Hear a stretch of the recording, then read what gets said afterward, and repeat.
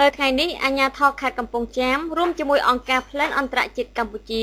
បានរៀបចំពិធីបើកសម្ពោធដាក់ឲ្យប្រើប្រាស់នៅសាលាបាតីមួយខ្នងនិងសមិទ្ធផលនានានៅក្នុងស្រុកពញាក្រែកនិងស្រុកដំបែក្នុងខេត្តកំពង់ចាមការផ្ដល់ជូននៅសមិទ្ធផលទាំងនេះគឺក្នុងគោលបំណងដើម្បីជំរុញនិងលើកទឹកចិត្តការចូលរួមរបស់កុមារដែលមានអាយុត្រូវចូលរៀននិងប្រជាជនក្រីក្រឲ្យមានឱកាសបានទទួលនិងប្រើប្រាស់គ្រប់ៗគ្នា ជាងនេះទៀត នៅក្នុងឆ្នាំ2012អង្គការ Plan បានសាងសង់រួចរាល់ជាស្ថាពរនៅសមិទ្ធផលមួយចំនួន ដូចជាអគារសិក្សាសួនកុមារអណ្ដូងទឹកស្អាតបង្គន់អនាម័យនិងផ្ដល់អាហារូបករណ៍ដល់កុមារក្រីក្រចំនួន344នាក់ផងដែរ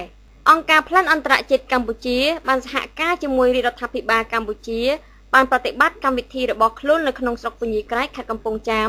ចាប់តាំងពីឆ្នាំ2006 រហូតមកដល់ពេលបច្ចុប្បន្នដោយធ្វើការអភិវឌ្ឍសហគមន៍ជាមួយនឹងភាពស្ទាត់ជំនាញរបស់ខ្លួនក្នុងនាមជាអង្គការអភិវឌ្ឍសហគមន៍មួយដោយប្រើយុទ្ធសាស្ត្រការអភិវឌ្ឍសហគមន៍ដោយយកកុមារជាមូលដ្ឋាន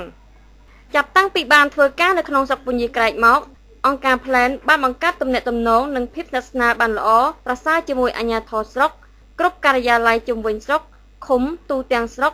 ដៃគូអភិវឌ្ឍសហគមន៍ក្នុងស្រុកនិងកុមារ ហើយអង្គការក៏កំពុងអនុវត្តគម្រោងដោយផ្អែកលើផែនការអភិវឌ្ឍភូមិផងដែរបច្ចុប្បន្ននេះកុមារអាយុពី3ដល់5ឆ្នាំប្រមាណជា